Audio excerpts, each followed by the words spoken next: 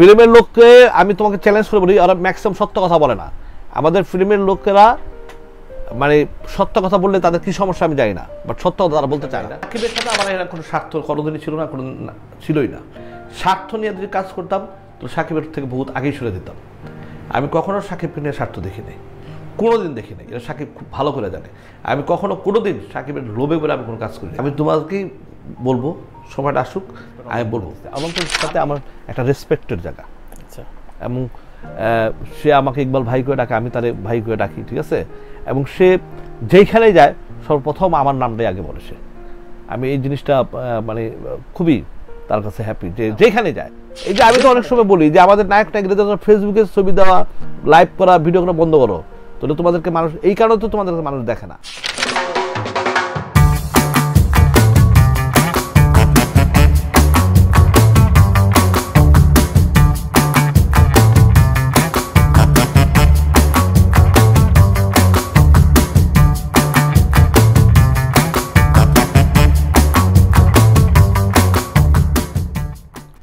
পুরো ইন্ডাস্ট্রিতে তাকে ব্যান করে দিছে। সাকিব অপু ব্যান ব্যান কথা আমি যে আমার শর্টটা মনে নাই ব্যান ছবি করতে পারবে না, ঠিক আছে? ফোন আমার কাছে। আইসা দেহি, সকালবেলা সে গাড়ি পাঠিয়ে দিল আমার বাসায়। হ্যাঁ সাকিবের গাড়ি পাঠিয়ে দিল। পাঠিয়ে দেওয়ার পরে যে বাসায় নিয়ে গেল, সাকিবের বাসায় গেলাম। তার দেখি যে মন মন খুব খারাপ, সাকিব। অবশ্যই খারাপ।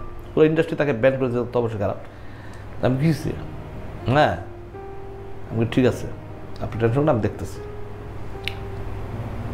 মারা গেছে মিজু আহমেদ, শিল্পী সমিতির প্রেসিডেন্ট মিজু ভাই মিজু ভাই আমি তখন ডাকাইলাম। মিজু ভাই কী হলো? কয়, আমার তো এনে করার কিছু নাই। এ মিজু ভাইয়ের সাথে নিয়ে কথাবার্তা অনেক কিছু হলো। মিজু ভাই সাকিবকে সাপোর্ট করেই না, ঠিক আছে? ইন্ডাস্ট্রির দুই চারজনের সাথে কথা বললাম, কেউ তাকে সাপোর্ট করে না। অল ইজ তার নেগেটিভ এখন আমি ফোন দিলাম দীপু চৌধুরীরে। আমি বন্ধু কই তুই? কয় আমি বাসায় আছি। আমি কই, ব্যাপার? সাকিবের সাথে একটা ঝামেলা হয়েছে ইন্ডাস্ট্রিতে এত পুরো ব্যান্ড ট্যান করে দিছে। তোর তো একটু হেল্প লাগবে ঠিক আছে? কই, কি হয়েছে? আমি বলি ব্যাপার। সাকিবের সাথে তখন ছিল না। ঠিক আছে দেখ কাজ কর আমার বাসায় নিয়ে বাসায় নিয়ে এই মরিয়ম টাওয়ারে সাকিব খান আমি নিয়ে গেছি। নিয়ে যেয়ে সেদিন বঙ্গবন্ধুর রায় হইতেছিল ফাঁসির কার্যকর হইতেছিল। ফাঁসির কার্যকর। আমি যখন দীপকে আপনার নিয়ে গেলাম, সাকিবকে নিয়ে গেলাম, আমি উঠলাম। তখন তো পৃথিবীর সাকিব তখন তো আমার সাথে পৃথিবীর কিচ্ছু বোঝে না, ঠিক আছে? কিছুই বলে না। যাই হোক এটা বলে না, তখন আমি নিয়ে গেলাম, নিয়ে যাওয়ার পরে দীপুর সব কিছু বলে গেলাম, পরে দীপু মা আঙ্কেল উঠে আসে, ঠিক আছে? বাসায় ছিল সেদিন ভাগ্য ভালো।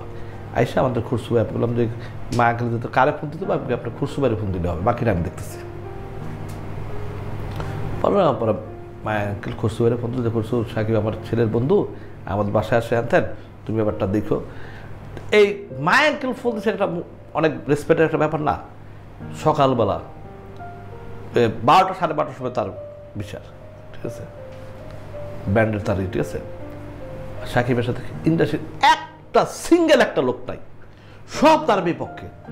এবং আমি সকালবেলা সাকিবের বাসায় চলে আসলাম, সাকিবের গাড়ি দিয়ে আমি আর সাকিব ইন্ডাস্ট্রিতে ঢুকি। ফাইভ মিনিট পাঁচ মিনিটের ভিতরে উদ্যোগ হয়েছে পাঁচ মিনিট তার ব্যান উঠে রয়েছে ঠিক আছে? পুরো ইন্ডাস্ট্রি একদিক আমি আর সাকিব একদিক। সাকিবের সাথে আমার এরা কোনো স্বার্থ কোনোদিনই ছিল না কোনো ছিলই না। স্বার্থ নিয়ে যদি কাজ করতাম তো সাকিবের থেকে বহুত আগেই সরে দিতাম আমি কখনো সাকিবকে নিয়ে স্বার্থ দেখিনি। কোনোদিন দেখি নাই এটা সাকিব খুব ভালো করে জানে। আমি কখনো কোনোদিন সাকিবের লোভে বলে আমি কোনো কাজ করি আমি তোমাকেই বলব সময়টা আসুক আমি বলব। আমি সাকিবের জন্য কি ছিলাম সাকিব খুব ভালো করে জানে। সাকিব এখনও এখনও সাকিব যখন আমার কথা কেউ আজাদ জাদু আজাদ বাংলা যখন উঠে তো কোনো কথাই বলে না চুপ করে থাকে। আমিও কিন্তু আজ পর্যন্ত তোমার এখানে বলতে পারি যে আমি কোনোদিন নাম ধরে কোনো আমি যতটুকু আমার বিশ্বাস আমি কখনোই কোনোদিন নাম ধরে কোনোদিন কথা বলব না। আচ্ছা। আমি যাই কোনোদিন বলব না। ওর সাথে এক থেলো আমি খাইছি। খাইছি ঘুমাইছি। সব কিছু ঠিক আছে? আমি কোনোদিন বলব না। কিন্তু আজকে নতুন না, আমি চোদ্দ, তেরো, চোদ্দ বছর যদি অন্যায়ভাবে কোনো কেউ কথা বলে বা অন্যায়, আমি সবসময় বলতে ইকবাল ভাই সত্য বলবেই। এটা সে জানি। এটা এখন সাকিবের ব্যাপারে হোক আর যার হোক সে খুব ভালো জানে, আমি সত্য কথা বলবই। আমাকে, আমি আমি যে সাকিবের এই পর্যন্ত আমি কোনো ইউটিউবার দেখা যাব ইকবাল ভাই সাকিবের নাম ধরে বলছে, আমি ইন্ডাস্ট্রি ছেড়ে দেবো। বুঝলা নাম্বার হয়েছে বুবলির সাথে যখন সাকিবের সাথে গ্যাঞ্জাম হয়েছে, আমার দুই তিনটা জন ছবি করছে, তাও কোনোদিন বুবলির শিটুল আমি চাই নাই। আর বুবলির সাথে কোনোদিন আমি কথাও বলি নাই। আমার যে অ্যাসিস্ট্যান্ট রোমান আছে, ও কথাটা বলছে। নাম্বার ছিল এই ছিল। সারা জীবনে বুবলির সাথে ফোনে আমি পাঁচবার কথা বলছি কিনা এই সাত আট বছরে সন্দেহ আছে। সাকিবের সাথে যখন আমি কথা বলতাম বা যখন আমার সাথে সম্পর্ক ছিল, আমি কখন অপু বিশ্বাসের নাম্বার আর বুবলির নাম্বার আমার কাছে ছিল না। আমি সাকিবের সাথে কথা বলতাম, ঠিক আছে? জীবনে কোনো দিন আমি কখনো কোনো দিন আমি অপুরে ফোন দিই এবং বুবলির আমি ফোন দিই আমি যা বলতাম সাকিব বলতাম, আমার শুটিংয়ে ঠিক আছে? সাকিবের ভক্তদেরকে আমি কখনো কোনোদিন দুই পয়সার দাম দিই না আর কোনোদিন দিবও না। এটা কারা? এক দেড়শো। বাকিগুলো সবসময় আর বাকি যারা ওর ভক্ত সবাই আমারই ভক্ত। আফজাল শরীফ ছিলেন আমাদের একজন টেলিভিশন খুব নাম করা নাট্যকার নাটক অভিনয় করতেন। আফজাল হোসেন। তো তখন তো হাতে মোবাইলের যুগ ছিল না। তখন চোদ্দোশো সিনেমা হল ছিল আর বিটিভি ছিল শুধু। তখন কিন্তু খুব জনপ্রিয়তা ছিল তার। কিন্তু সিনেমাতে আইসা কিন্তু একটা ছবির পরে কিন্তু আর করতে পারেনি এবং টেলিভিশন থেকে অনেকে আসছে, হিরো হিসাবে, কেউ টিকতে পারে না একমাত্র ফরিদি ভাই নেগেটিভ আর বাচ্চু ভাই। নেগেটিভ ক্যারেক্টার আসলো ভিলেন হিসাবে আসলো, তারা কিন্তু ঠিক আছে, সাদেক বাচ্চু ভাই। বাচ্চু ভাই আমার লাস্ট বীর, বাচ্চু ভাইয়ের। সিয়াম টেলিভিশন থেকে আসছে, সিয়ামের ছবিটা এই পর্যন্ত আমার জানা মতে সিঙ্গেল স্ক্রিনে কতটুকু আমি যাই না। হতে পারে নাই। আরিফিন শুভ হতে পারে নাই হ্যাঁ। বাট চেষ্টা করতেছে ওরা।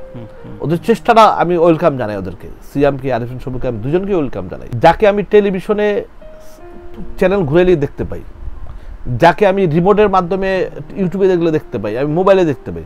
আমি তিনশো চারশো টাকার টিকিট কেটে আমি সিনেমাগুলো কেন দেখব? হ্যাঁ সিনেমায় সিনেমা। এই যে আমি তো অনেক সময় বলি যে আমাদের নায়ক নায়িকাদের ফেসবুকে ছবি দেওয়া লাইভ করা ভিডিও করা বন্ধ করো। তাহলে তোমাদেরকে মানুষ এই কারণে তো তোমাদেরকে মানুষ দেখে না। এখানে আমাদের সিনেমাটার ভিতরে বাজেট হলো যদি ডিরেক্টর মনে করে যে আজকে আমার শটটা মনে করে এই রুমের ভিতরে আছে। লাইন আপ ঠিকঠাক আমি এই রুমে শুট করব, আমি নদীর পাড়ে নিয়ে যাব শটটা করতে।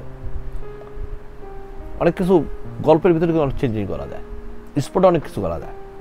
যদি মেধা থাকে। আমি কারোর এটা কথা বলব না, সবার সবার জায়গায় সবার মেধা আছে বাট আমি বলতেছি আমার কথা। অনন্ত অনন্ত একটা বলব যে সে আমাকে যথেষ্ট রেসপেক্ট দিছে। আমিও আমার দিক থেকে যথেষ্ট রেসপেক্ট অনন্তকে দিচ্ছে অনন্তর সাথে আমার একটা রেসপেক্টের জায়গা। আচ্ছা।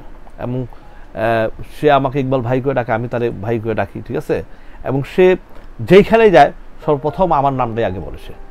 আমি এই জিনিসটা মানে খুবই তার কাছে হ্যাপি যে যেখানে যায় যেইখানে যে কোনো সাক্ষাৎকার জিজ্ঞেস করলে সেটাকে আমার নামটা সে বলে। কিন্তু অনেকের অনেক কিছু উপকার করছি কখনো নাম বলে না। ঠিক আছে? অনেকের অনেক উপকার করছি। আজকে বলে গেলাম। যে উপকার করছে চিন্তাই করতে পারবে না। মনে করো যে একটা গ্লাস যদি ভেঙে যায়, তুমি তাকে জোড়া দিবা দাগটা কিন্তু থেকে যাবে। অতএব ওই যেটা ভেঙে গেছে, ওটা ভেঙে যেতেই দাও, দাগ আর দিয়া জোড়া রাখছে না। ফিল্মের লোককে আমি তোমাকে চ্যালেঞ্জ করে বলি, ওরা ম্যাক্সিমাম সত্য কথা বলে না। আমাদের ফিল্মের লোকেরা মানে সত্য কথা বললে তাদের কি সমস্যা আমি জানি না বাট সত্য কথা তারা বলতে চায় না। সে সবচেয়ে বড় ক্ষতিকর নির্বাচন। এই নির্বাচনটা হলেই শিল্পীরা দুই ভাগ হয়ে যায়। প্রডিউসাররা দুই ভাগ হয়ে যায় ডিরেক্টররা দুই ভাগ হ্যাঁ শিল্পী সমিতি বলে না সব নির্বাচনের মধ্যে এই নির্বাচনটা আমাদের এখানে থাকা উচিত না। এই নির্বাচনটা যখন ডিক্লেয়ার দেওয়া হয় তখন দুই ভাগ হয়ে যায় দুটা গ্রুপ হয়ে যায়। নিজেদের তো রেশারেশি হয়ে যায়। যেই কারণে সবাই চিন্তা করে ও আর সে বসে আমার এন্ট্রিতে দাঁড়াইছিল না ঠিক আছে দাঁড়া। এই যে একটা রেশারেশি এই রেশা আমি আমি যা বলতেছি লিগেল কথা বলতেছি হ্যাঁ। কারও মনে দুঃখ বা কষ্ট দেওয়ার কথা বলতেছি না। নির্বাচনটা আমাদের ইন্ডাস্ট্রিতে উঠে দেওয়া উচিত। একটা সমিতি থাকা উচিত। একটা। যে সমিতির মাধ্যমে সব চলবে। নেতা দরকার কি? একটা গভর্নমেন্টের লোক বসা দেখতে সমস্যা কি আছে? আমাদের প্রযুক্ত সমিতি আছে কত বছর যাবত প্রশাসক চলতেছে বাণিজ্য মন্ত্রণালয় থেকে? ঠিকঠাক চলতেছে না? রোমান্টিক ছবি হয় না অনেকদিন যাবত আহ, যেমন আসলে আমাদের দেশের থেকে কিছু দর্শকও চলে গেছে। সবচেয়ে মজার ঘটনা অনেক রোমান্টিক একশো দর্শকে চলে গেছে। আগে যেমন সোহান ভাই কেয়ামত থেকে কেয়ামত বা বিভিন্ন রোমান্টিক ছবি আত্মহংকার প্রমোশনে হ্যাঁ? সালমান খান অনেক ছবি ছিল হিরো কোথায়? হিরো হিরো হিরোইনটা কোথায়? নাই তো। খুললে দেখি যে প্রচুর হিরো আছে প্রচুর আর্টিস্ট যখন ছবি বানাতে যায় তখন আমরা কেউ খুঁজে পাই না। মানে মনে হয় ইন্ডাস্ট্রি একটা সাইনবোর্ড লাগায় রাখছে। ট্যাগ আমাকে যদি কেউ বলে যে অনন্ত জলিলকে দিয়ে আপনি রোমান্টিক ছবি বানান আমি জীবনে বানাবো না। আমার চোখে আমার চোখে রোমান্টিক হিরো নাই। আমার চোখে কেউ বলে না। করতে জানে কিনা ওই এখন যারা যাদেরকে বাড়াবো হ্যাঁ রোমান্টিক একটা হিরো হয়তো চকলেট বয়ের মতো। রোমান্টিক নায়িকা হয়তো একদম মানে অন্যরকম একটা নায়িকা হয়তো। দেখে মানুষের সাথে একটা নায়িকা তো। ঠিক আছে, আমি, আমার চোখ একটু পড়ে না।